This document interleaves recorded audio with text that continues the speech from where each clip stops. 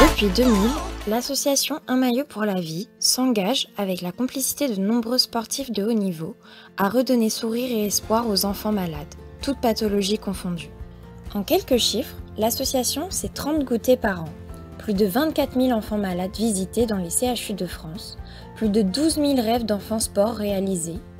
Nos projets pour 2019 avec les sous récoltés est d'organiser une rencontre au chevet des enfants avec des rugbyman professionnels, de permettre à un enfant de pouvoir se rendre au championnat du monde de rugby l'an prochain et de vivre ainsi un séjour exceptionnel, et de permettre un goûter sur un des hôpitaux de la région.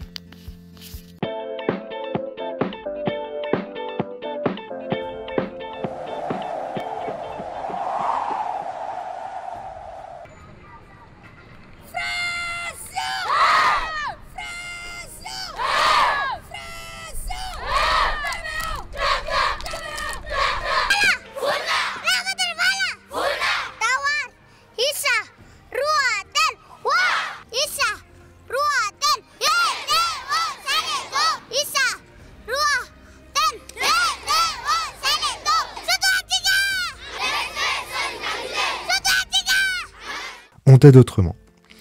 On t'aide autrement sert à financer les méthodes comportementales et éducatives, donc de Victor, Paul et Lubin. D'alerter les personnes sur un diagnostic précoce. D'informer les parents sur leurs droits. De sensibiliser à l'autisme. D'inclure les enfants à l'école. Financer les formations des parents ainsi que les AVS. Nous avons une devise. L'impossible recule devant celui qui avance et je pense que vous allez les reconnaître, on a tout leur soutien aussi. Merci à Marc et à Sébastien. Et bien évidemment, un grand merci aux Ovalides 2019, merci à vous tous.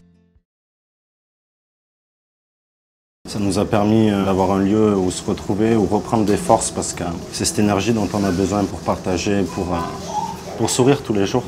Si aujourd'hui Antoine est guéri, euh, c'est en partie grâce à la maison des parents, grâce à ce que ben, à notre proximité grâce à,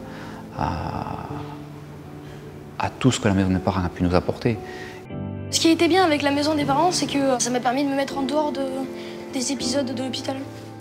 C'est comme euh, quand tu es à la maison, sauf qu'il y a beaucoup plus de monde. On a vécu beaucoup de bons moments avec des gens qu'on connaissait pas du tout. La maison nous a beaucoup rapprochés.